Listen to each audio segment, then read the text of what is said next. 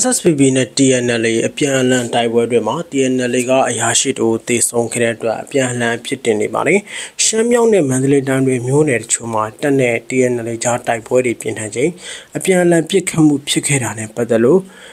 TNL နဲ့ SSPB ဟာအပြန်အလှန်ဝေဖန်နေကြပါတယ်။ဝါတဖွဲ့ဦးဆောင်တဲ့ FPNCC ဖွဲ့ဝင်ဖြစ်တယ်လို့စီရေးမဟာမိတ်ဖြစ်တဲ့ TNL နဲ့ SSPB ဟာ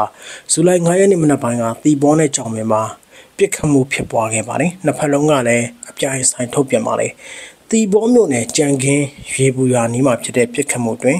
TNL ဘက်ကတီဘောမြို့နယ်မူဘိုးကြီးနေအုပ်ဟာနေရာမှာပဲတည်ဆုံခဲ့တယ်လို့နောက်ထပ်တပ်ဖွဲ့ဝင်3ဦးသေဆုံးခဲ့တယ်လို့ TNL ကမနေ့ညနေပိုင်းမှာထုတ်ပြန်ပါတယ်။ TNL တီဘောမြို့နယ်မှုဦးဆောင်တဲ့တပ်ဖွဲ့ဟာ1027စစ်စင်ရဲ့ပိုင်းနှစ်မှာ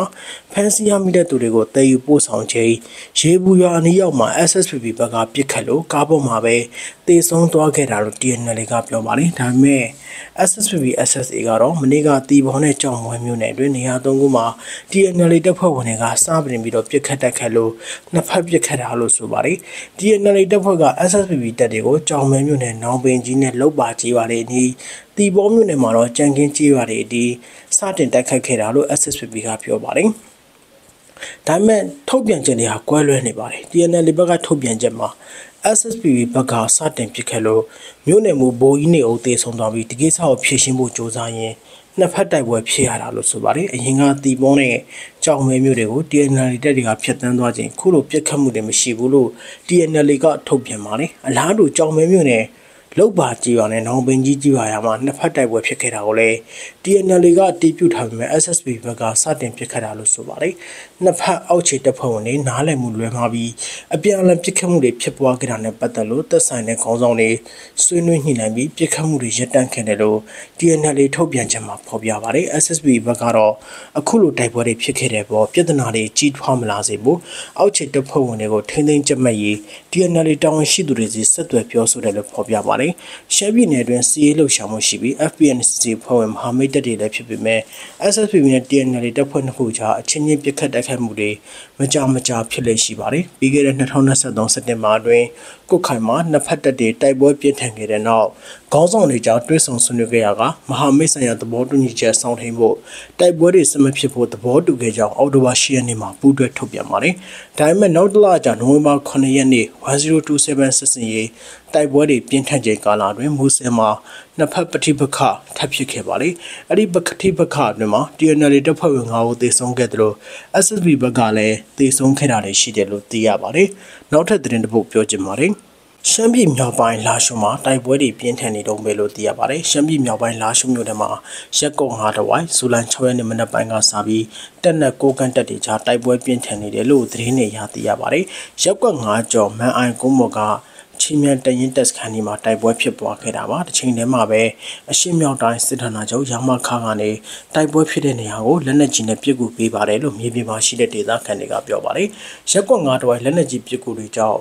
ဒါအပြင်နှစ်ဖက်တိုက်ပွဲတွေကြောင့်ဒေသခံတချို့ဟာစစ်ရှောင်မရပဲပိတ်မိနေပါတယ်နှစ်ဖက်တိုက်ပွဲတွေအတွင်းလက်နက်ကြီးအပြင်ရှော့တိုက်တုံးတွေနဲ့အပြန်အလှန်ပစ်ခတ်လို့မြို့ပေါ်ကလူနေအိမ်တွေပေါ်လက်နက်ကြီးကြားရောက်ပေါက်ခွဲတာတွေရှိတယ်လို့ဒေသခံတွေကဆိုပါတယ်ဒီနေ့မနက်ပိုင်းမှာပဲရက်ကွက်9မှာရှိတဲ့စိတ်ဓာတ်ဒုက္ခဖုံးကြောင်းတဲ့လက်နက်ကြီးကြီးကြားရောက်ပေါက်ခွဲလို့ ကိုရင်သုံးပါထိခိုက်ဒဏ်ရာရတယ်လို့မြေပြင်ခြေနေသိရှိသူတွေကပြောပါတယ်ရှမ်းပြည်နယ်နောင်ချိုကခုတ်ထိတ်တရားကို TNL ပူပေါင်းတပ်တွေကထိန်းချုပ်လိုက်တယ်လို့လည်းသိရပါတယ်။ရှမ်းပြည်နယ်နောင်ချိုမြို့နာကမန္တလေးလာရှုပ်ရထားလမ်းပေါ်ကနာမည်ကျော်ခုတ်ထိတ်တရားကို TNL နဲ့ပူပေါင်းတပ်တွေကထိန်းချုပ်လိုက်ကြောင်းတပ်ပုံတွေဖော်ပြလာပါတယ်။ဇူလိုင်၄ရက်နေ့ကြာသပတေးနေ့ကထိန်းချုပ်လိုက်တာလို့ပြောပါတယ်။ဂုတ်တွင်းကားလတ်တဝိုက်တော့တိုက်ပွဲတွေဆက်ပြီးဖြစ်နေပါတယ်။ ကုန်းထိပ်တရာကိစ္စနဲ့ပတ်သက်ပြီးတပ်ဘက်ကထုတ်ပြန်ခြင်းမရှိပါဘူး DNL ပါတဲ့မြောက်ပိုင်းမဟာမိတ်ဖွဲ့ဟာ1027စစ်စင်ရေးဒုတိယပိုင်းပြန်လည်စတင်ချိန်ကုန်းထိပ်တရာကိုထိချုံနိုင်ခဲ့တယ်လို့ဆိုပါတယ်တရုတ်ရဲ့စိစက်မှုနဲ့ရှမ်းမြောက်ကတိုက်ပွဲတွေဟာချက်တန့်သွားပြီမဲ့တဲ့ခုခါတစ်ဖက်ပြန်လည်ဖြစ်ခဲ့ပါတယ်တရုတ်ချောင်းဝင်စိစက်ခဲ့တဲ့ဟာကန်သဘောတူညီချက်နဲ့အပြည့်ရမှုကိုချိုးဖောက်တယ်ဆိုပြီးရှမ်းမြောက်သုံးဘွဲကလာရှိုးပါဝင်တိုက်ပွဲတွေပြန်လည်ဆင်လာပါတယ် ဒါပေမဲ့အဲ့ဒီချိုးဖောက်တာဟာနှစ်ဖက်လုံးကချိုးဖောက်တာဖြစ်တယ်လို့နိုင်ငံရေးလေးလာသုံးသပ်သူတွေကပြောပါတယ်လက်ရှိမှာ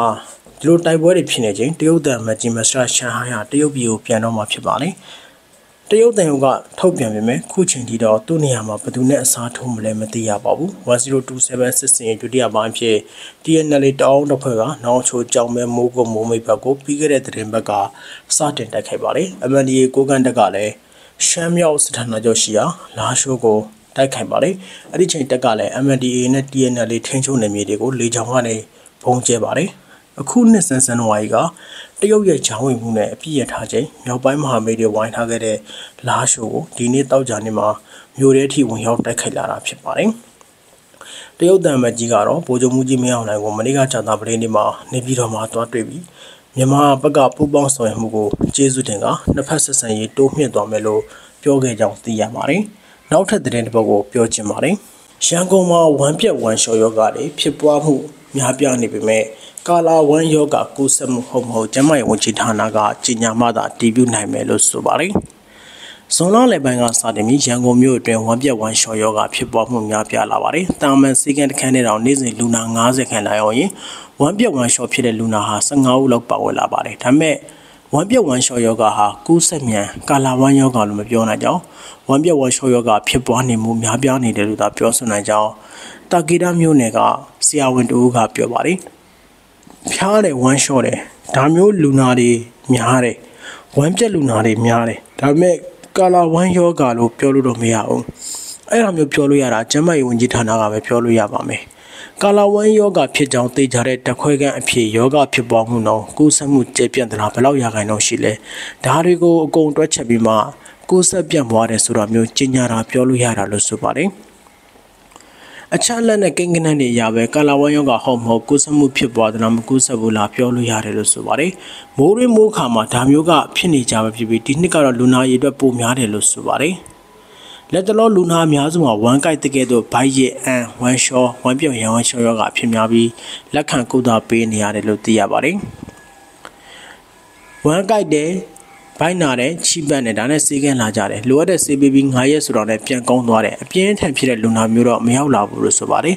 တာမန်ဝမ်းပြက်ဝမ်းလျှော်ယောဂဖြစ်စေကူးစက်မြဲကာလာဝမ်းယောဂဖြစ်စေပြည်သူတွေအနေနဲ့တတိထားသင့်ပြီးရေကိုကြိုချက်တော့ဖို့လမ်းဘေးအစာမစားဖို့အစားအစာတန်ရှင်းမှုလေးထားဖို့ဝမ်းပြက်ဝမ်းလျှော်ယောဂဖြစ်လာရင်မပေါ့ဆပဲစေုံစေကန်းကိုပြုပြသဖို့ဆိုပြီးတိုက်တွန်းပြောဆိုထားပါတယ် လက်ရှိရန်ကုန်ခြေစဲပရဟိတအဖွဲ့ကျမ်းမာရေးကုညီဆောင်ရှောက်နေတဲ့စေတနာအဖွဲ့အစည်းတွေကဝမ်ပြော့ဝမ်ရှော့ယောဂတွေနဲ့ပတ်သက်ပြီးပြည်သူတွေထိုးသတိပြုဖို့တိုက်တွန်းနှိုးဆော်နေတာဖြစ်ပါတယ်။နောက်ထပ်သတင်းတစ်ပုဒ်ကိုပြောချင်ပါတယ်။ ရုရှားရဲ့လိုလားချက်ကိုယူကရိန်းကသဘောတူမှအပြစ်ခတ်ရစရေးဆွေးနွေးမယ်လို့သမ္မတပူတင်ကပြောပါတယ်။ရုရှားနိုင်ငံဘက်ကလိုလားတဲ့အခြေအနေကိုယူကရိန်းဘက်ကသဘောတူမှသာယူကရိန်းစစ်ပွဲအပြစ်ခတ်ရစရေးသဘောတူမယ်လို့ပူတင်ကထုတ်ဖော်ပြောဆိုလာပါတယ်။ကာဇက်စတန်နိုင်ငံအန်စတာနာမှာကျင်းပတဲ့ရှန်ဟိုင်းပူပေါင်းဆောင်ရွက်ရေးထိပ်သီးဆွေးနွေးပွဲမှာယူကရိန်းစစ်ပွဲနဲ့ပတ်သက်ပြီးသတင်းတောက်တွေမေးမြန်းမှုကိုသမ္မတပူတင်ကခုလိုဖြေကြားလာတာဖြစ်ပါတယ်။ရုရှားဖက်ဒရေးရှင်းနိုင်ငံကိုမထိခိုက်စေတဲ့လက်ခံနိုင်လောက်တဲ့အခြေအနေကို စန့်ကျင်ဘက်နိုင်ငံကသဘောတူကြောင်းတေချောင်းကိုလုပ်ဖို့လိုတယ်လို့ပူတင်ကဆိုပါတယ်ဒီသဘောတူညီချက်မရပဲပြစ်ခတ်ရစရေးမဖြစ်နိုင်ဘူးလို့ဆိုပါတယ်ယူကရိန်းရှေ့ပိုင်းနဲ့တောင်ပိုင်းရှိရုရှားသိမ်းထားတဲ့ဒေသလေကူမှာယူကရိန်းတပ်တွေဆုတ်ခွာဖို့သဘောတူမယ်ဆိုရင်ငြိမ်းချမ်းရေးဆွေးနွေးပွဲစတင်နိုင်မယ်လို့ပူတင်ကပြီးခဲ့တဲ့လမှာပြောထားပြီးယူကရိန်းကတော့ပြက်ပြက်သားသားပယ်ချထားပါတယ်လက်ရှိမှာရုရှားဟာယူကရိန်းရှေ့တန်းစစ်မျက်နှာတွေမှာ ထိုးစစ်အရှိန်မြင့်တင်နေပြီးယူကရိန်းရဲ့စွမ်းရည်အခြေခံအဆောက်အအုံတွေကိုမကြာခဏတိုက်ခိုက်နေပါတယ်။ယူကရိန်းသမ္မတဆီလန်စကီကတော့ရုရှားတိုက်ခိုက်မှုကိုကာကွယ်ဖို့ပုံမခစ်မိတဲ့လေကြောင်းရန်ကာကွယ်ရေးစနစ်ကိုအနောက်အုပ်စုမဟာမိတ်နိုင်ငံတွေစီကတောင်းဆိုထားတယ်လို့သိရပါတယ်။